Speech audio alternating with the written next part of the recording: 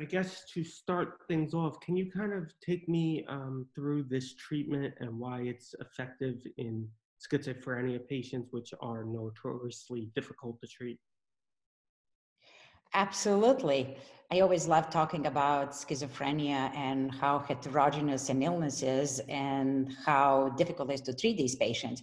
Before I take you through the treatment, I want to make sure that you understand how important it is for us to document that there is a treatment that is effective when started during the inpatient hospitalization and then continued for a certain period of time particularly if that period of time is uh, two months. Just to give you some numbers, out of 11 patients that are hospitalized for acute exacerbation of schizophrenia, one is readmitted to the hospital within one week. And if you look at the data, the data say that among 20 medical and mental health conditions, this is the number one readmission rate.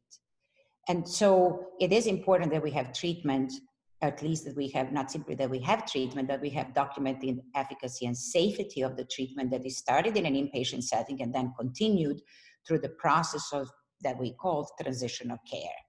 And that is the primary reason why we designed an alpine study. I was uh, the team member. Uh, I am not um, employed by Alkermes, but I had the privilege to work with the Alkermes team to design that study. And the study was designed as a first prospective study uh, to show efficacy and safety um, of a long acting injectables being started in the hospital and continued throughout the process of transition of care.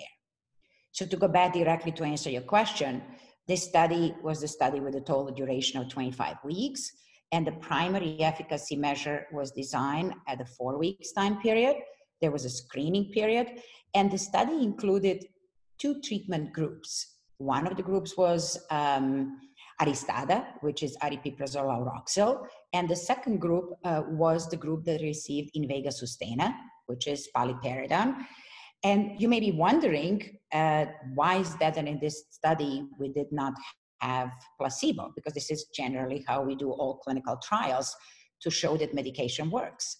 The reason we didn't have placebo is this was a study uh, that we label it as a phase 3B, which means it's a post marketing study. And the purpose of the studies was really not necessarily to focus on documenting efficacy against placebo, because that has been proven in previous clinical trials, but more so to see what happens with this regimen of Aristada, which is a dose of 1064 milligrams that is scheduled to be given every eight weeks, with initiation regimen that is one day only. So this was basically the study. The primary efficacy measure was at four weeks. We used, as it is generally used in all psychiatric uh, clinical trials involving patients with schizophrenia. We used positive and negative symptom scale, PANSS scale, as the primary efficacy measure. Now, we also looked at some secondary efficacy measures which are data at week nine and at week 25, where the patients received several of those injections, actually three of uh, injections of um, Aristada, 10, 1064 milligrams.